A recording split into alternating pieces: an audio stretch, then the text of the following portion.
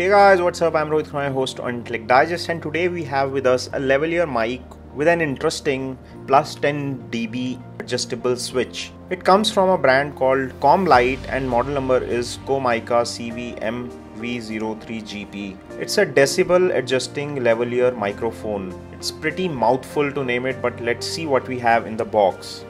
Opening the box, we get the lavalier microphone itself with a power switch and a pretty long cable. It comes with a circle watch battery which powers the microphone. On the back we have a carry case, some documentation for the mic. It comes with two adapters which make it versatile and increase the support for various devices like phones, DSLRs and GoPro cameras. It also packs in a little wind filter and pop filter. Coming on to the microphone, it has a really long cable which can be beneficial for some and troublesome for some others. It also comes with a 10 dB switch which helps increasing the sound amplitude of the microphone. The switch also comes with a hook which can be used to attach it to a belt or a pocket.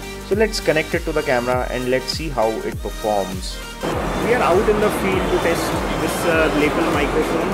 Right now we are shooting with the internal microphone of the camera which is the Canon EOS 80D and now we are going to connect the lapel and show you how different it sounds. So let's connect it.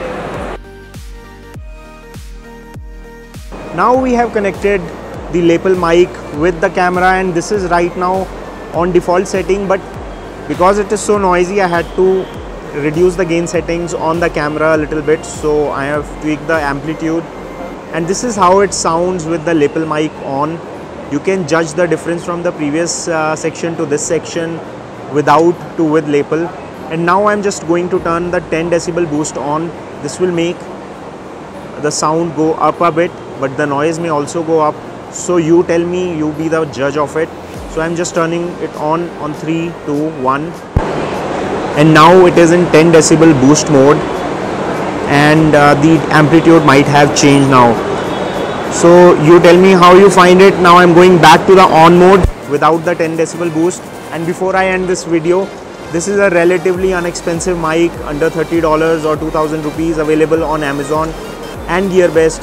So you can pick it up if you want an inexpensive solution for your video recording. You can connect it with your smartphones, GoPro cameras, DSLR cameras. So it is multifunctional in a true sense. Do give us a thumbs up if you enjoyed watching this video. Stay subscribed for more. This is your host Rohit Khurana signing off. Thanks for watching.